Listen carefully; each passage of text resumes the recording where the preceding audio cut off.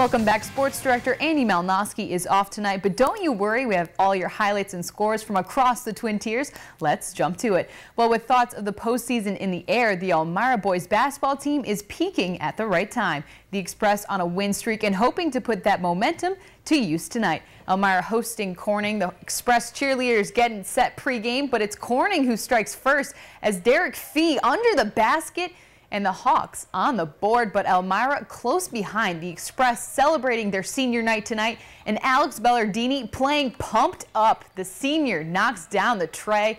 Later on, it's Eli Thomas in the paint. He goes up and under for the bucket. The Express getting big. Elmira ahead 11-8. But the Express not taking no for an answer as another fourth year Trayvon Hamilton gets the smooth lay-in and Elmira playing full tilt tonight. The Express get the W 83-64. Elmira now on a three-game win streak. Notre Dame versus Watkins Glen and we have ourselves a little dance party.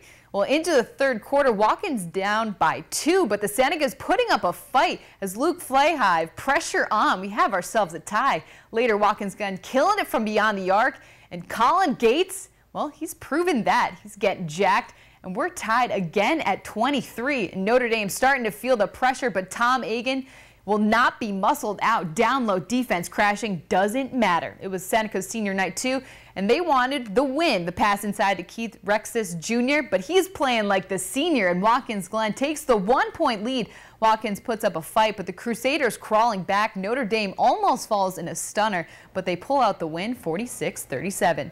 And more boys games, Sayre hosting Liberty Redskin. Nate Williams looking to join the 1,000 point club tonight. In the first quarter, Williams needs just four more and count it over the top of the Mounties. Williams almost there, number 25.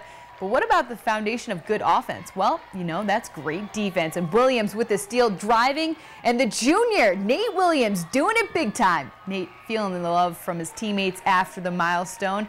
Welcome to the club, Williams. And this game all about number 25. Williams scored 47 points tonight. Look, bowling's even his thing too. Later, now he's just showing off. He hit eight threes. That is ridiculous. Congrats to Nate and the rest of the Sayre. Not doing too bad either. The boys win 84-38. The Blue Raiders hosting the Golden Bears. Everyone excited. First quarter, Horseheads up 9-6. and Foster Clark finds Devonte Gaskins. And the hook shot is good for two. He had 19 tonight. Later on, Vestal trying to chip away at the Raiders. Nick Wegman's shot not there, but Jake Malloy's is. The pull-up Jay Vestal now down just two. Then the Blue Raiders with the tough defense. Gaskins, Gaskins throwing up the block party on the Golden Bears, and Horseheads is off and running. Then Jake Sturmer from deep hits the corner three, and there's more where that came from. Chris Corcoran stops and pops it later on. Horseheads coming up big on the home court, 67-43.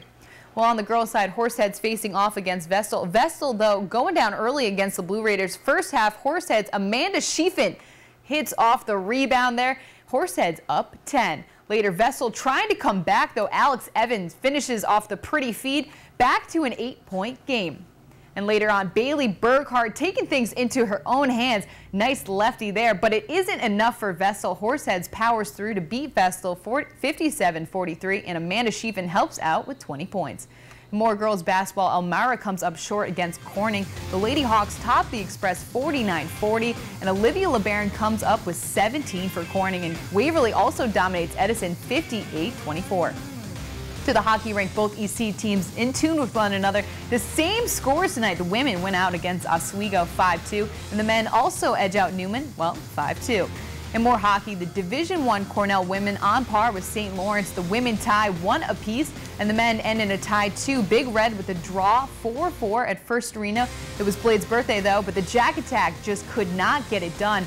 Elmira falls to Fort Wayne 4-3.